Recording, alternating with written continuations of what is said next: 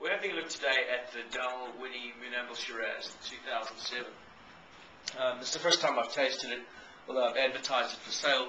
We've managed to get a real good price on it, and we were getting some feedback from Australia, such as the winemaker saying that in all 28 vintages that he's made this wine, this is the finest that he's ever produced. So, quite excited to see it. Dalwhinnie comes from the Pyrenees, which is the western part of Victoria, very, very high elevation, about um, 500 odd meters uh, above sea level. Dark wine. The thing about Dalwhinnie, one of the, one of the attributes of Dalwhinnie has a very classic black olive characteristic, which some people say defines them automatically on the palate, but we're not going to pick it up on the nose. The nose is just giving me dark fruit. Um, quite restrained, I think it's a little bit cold.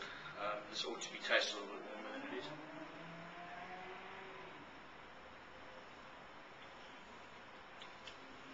The wine's closed.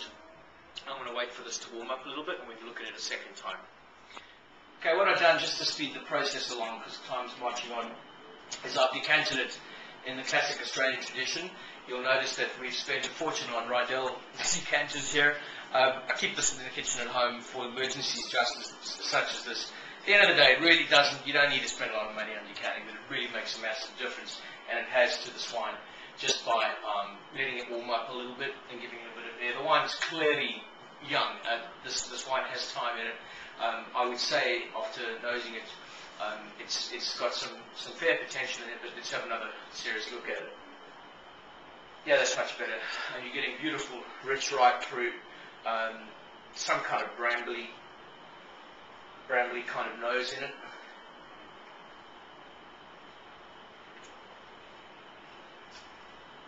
This is a serious wine. Um, it's it's actually ready to. It reminds me a little bit of um, a couple of other Shirazes in the warmer climates, in as much as it's actually ready to drink relatively now. It's quite unusual for cool climate Shiraz of Australia.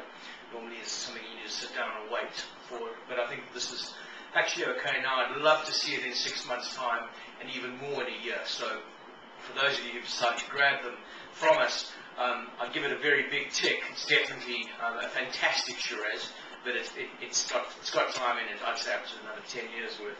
So at the end of the day, don't take the critics too seriously. If you like it, just drink it.